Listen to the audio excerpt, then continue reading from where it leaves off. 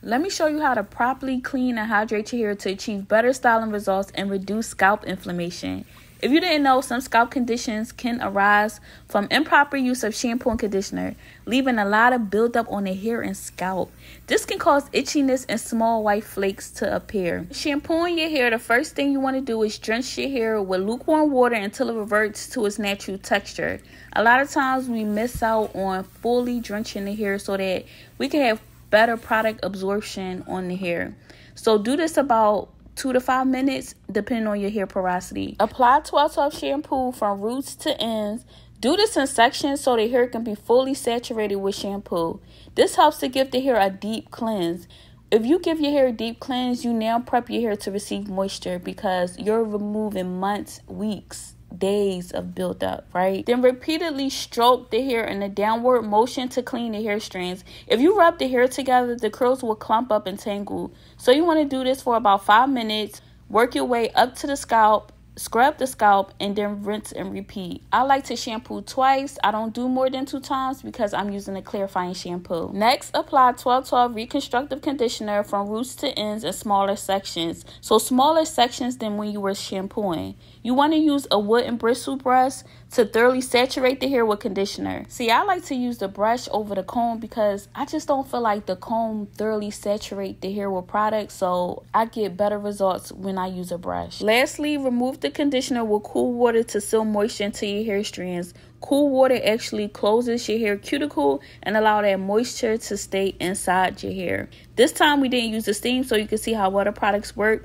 when simply using 1212 shampoo and conditioner. Stay tuned for the next video of how we styled her hair. This time we didn't do a wash and go style. We decided to do something different. So you have to see the next video. Let me know your thoughts below. Don't forget to subscribe, like, comment, and share because somebody may need to see this. You definitely want to watch to the end because I do show me applying the conditioner and how I work the conditioner on the hair as well. The products will be tagged in this video so that you can experience a clean scalp and hydrated hair. Because ain't you tired of having dry hair and an itchy scalp? So I'll see y'all in the next video and enjoy this ASMR.